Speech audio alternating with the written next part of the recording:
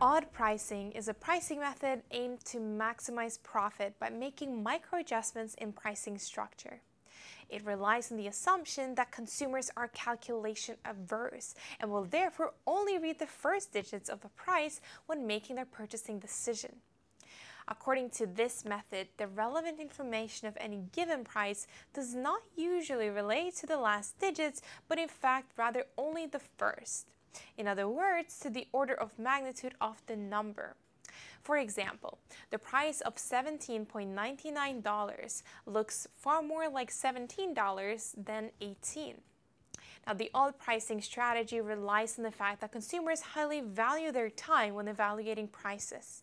There is an increased time cost associated with examining each additional digit within any given number, which means that when examining a price, the first digits carry far more weight than the last ones.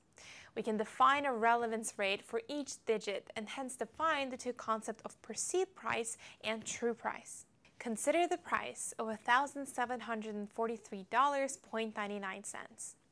The vast majority of consumers will only pay attention to the first two or three digits and note that the price is either $1,740 or $1,700, depending on their relevance threshold. Companies know this and they cash in on this by changing all the irrelevant digits to nines. Adding these irrelevant numbers to the perceived price will still retain the same perceived price and will therefore not have any impact on the demand or the sales of that particular item. The additional unperceived digits in the price will be entirely converted into profit. Another essential factor to consider is price ranges. Today, most e-commerce websites give the option to filter goods by price ranges, such as from $50 to $99. Setting a price at $99.99 instead of 100 implies falling into this 50 to 99 price range, which can potentially have a positive impact on demand. A study by Schindler and Kibarian was carried out on the effects of odd pricing. They examined price settings on a women fashion e-commerce, where they compared the effect on sales of 0.88, 0.99, and 0.00 prices.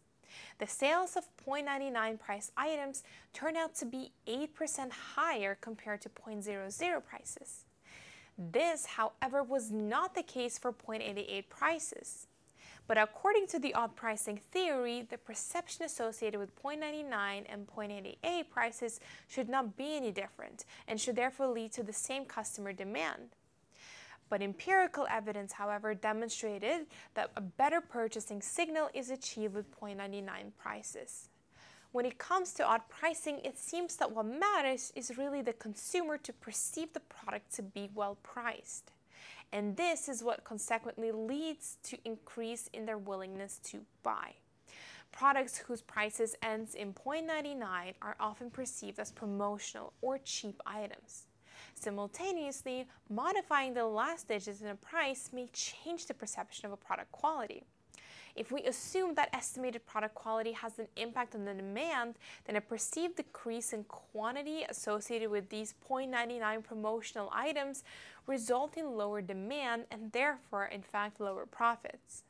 So a coffee maker price under 20 bucks is actually likely not expensive enough to be considered to be of decent quantity. To summarize all this, the odd pricing method focuses on capturing the demand for a product by creating micro adjustments on the price in a way that alters the psychological perception of the consumer to their benefit, creating a trap that we all fall into in our daily lives.